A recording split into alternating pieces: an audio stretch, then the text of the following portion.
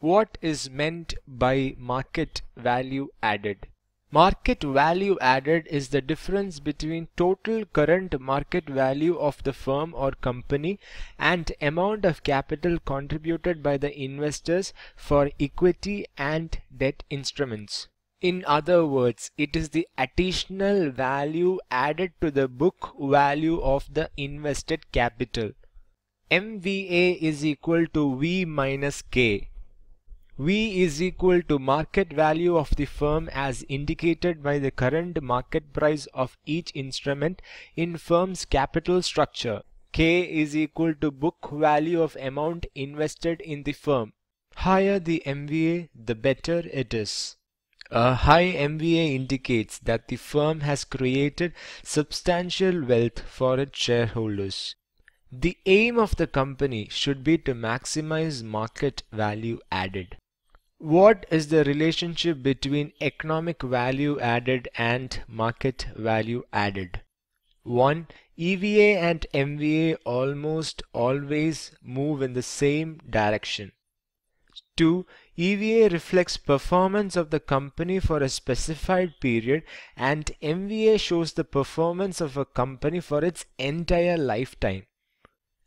Which is better measure of value addition for a company, EVA or MVA? EVA is the better measure. Now, what is the reason for saying that? 1. MVA cannot be applied for divisions or units of a firm whereas the same can be found for economic value added. 2. Cash returns to the shareholders as dividends is not accounted in market value added unlike economic value added where dividends paid in cash will be accounted in the cost of capital used in the formula. 3. Market value added is highly volatile than economic value added since market prices of equity and preference shares are largely dependent on the people's opinion in capital markets whereas economic value added derives its value from the performance reports like profit and loss account and balance sheet.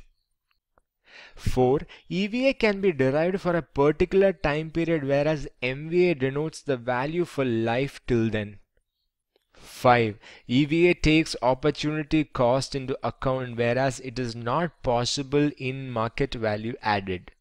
Let us now do a problem to test our understanding till now.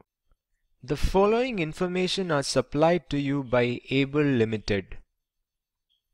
Equity shares of face value rupees 10, 5 lakh 80,000, 12% preference shares of face value rupees 10, 1 lakh 50,000, 10 percentage debentures of face value rupees 10 5 lakh. Term debt taken at 15% interest is 2 lakh. Financial lev leverage 1.2 securities premium account 40000 capital reserve 10000 general reserve 20000 statutory reserve 60000 income tax rate 30 percentage the industry to which Able Limited belongs has a practice of paying at least 15% dividends to its shareholders.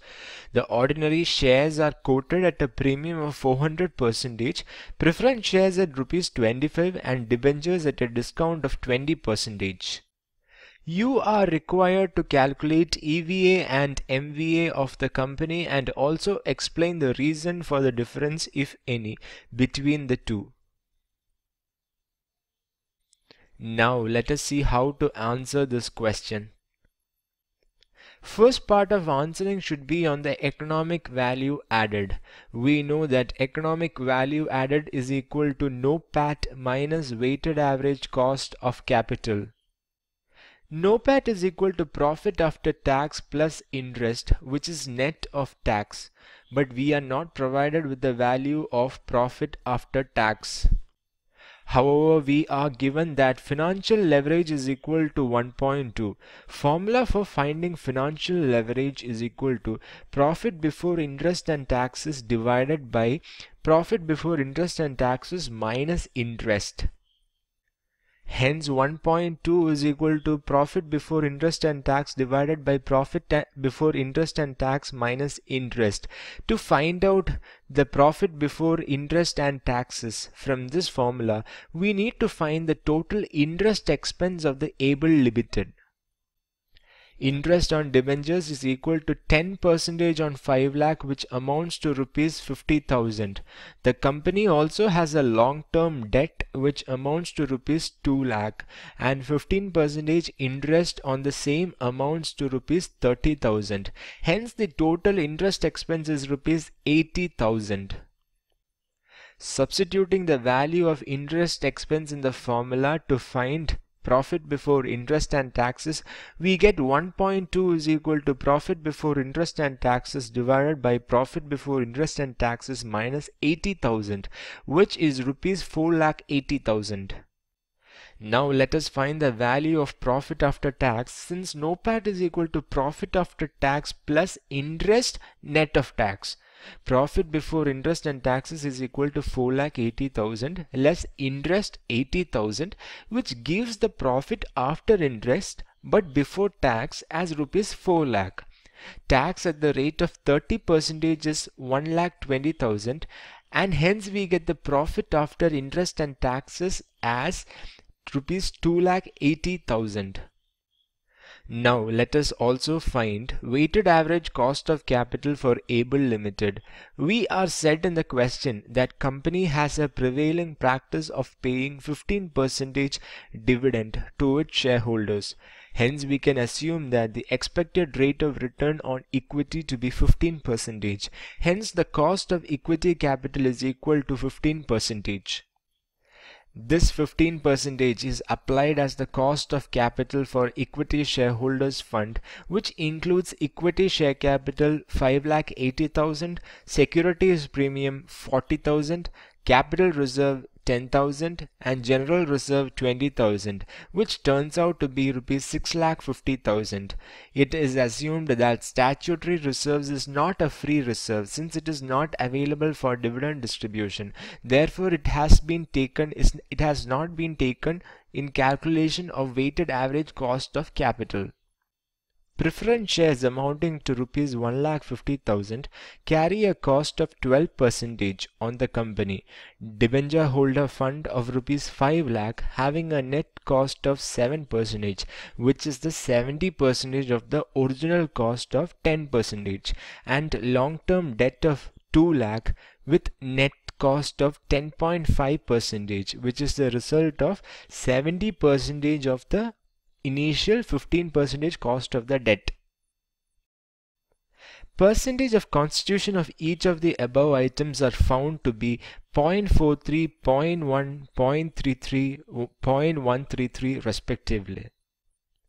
Weighted average cost of capital for each item is found by multiplying weights column and cost column which gives the cost as 6.45 percentage, 1.2 percentage, 2.3 percentage and 1.47 percentage which results in total weighted average cost of capital as 11.43 percentage. Hence the total cost of capital is found by multiplying capital employed of rupees 15 lakhs and weighted average cost of capital of 11.43 percentage which turns out to be rupees 1 lakh 71,450.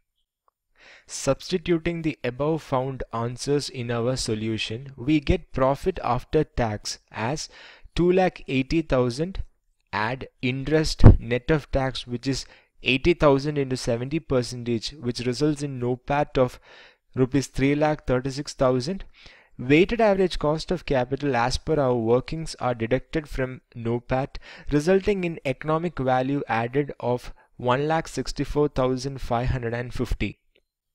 Next, we shall calculate the market value added which is the difference between market value of the firm and total capital contributed to the company through equity and debt. Total market value of the firm is the sum of market value of units issued to the market for capital infusion. This includes equity share capital at 500% of the original value which is rupees 29 lakh preference shares of rupees 10 valued at rupees 25 making it to be rupees 3,75,000 and debentures issued in the market currently valued at 20 percentage discount making it to be 4 lakh. Hence the total market value of the firm is 36 lakh 75,000 all capital contributed into the firm through shares and debt along with its free reserves are subtracted from the above market value of the firm whose sum amounts to 15 lakh 60,000. Hence the market value added is found to be rupees 21 lakh 15,000. The MVA of rupees 21.15 lakhs is the difference between the current market value of Able Limited and the capital contributed by the fund providers. While EVA measures current earning efficiency of the company, MVA takes into account the EVA from not only the assets in place but also from the future projects or activities of the company. The difference between MVA over EVA thus represents the value attributed to the future potential for the company and may change from time to time based on the market sentiments. In short, MVA is the net present value of all future EVAs.